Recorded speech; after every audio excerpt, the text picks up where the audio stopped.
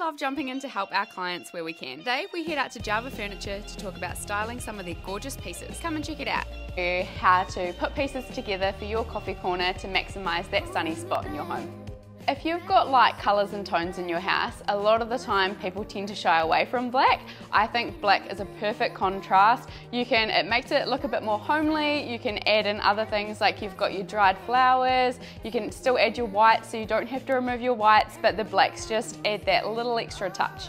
So you probably struggle, like me sometimes, to work out what to put on your coffee table aside from coasters.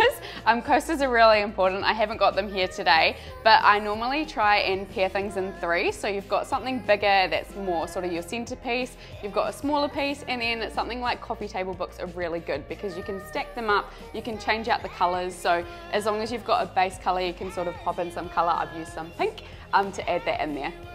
Another piece to add to your setup is a little side table. These are so versatile, so you can use them just sitting next to your um, chairs, you can use them in front if you need, you can put your coffee on them, or even if you're having cocktails with the girls, you can put your cocktail on it.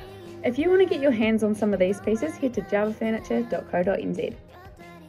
If you struggle to think of ideas for your content, get in touch with us.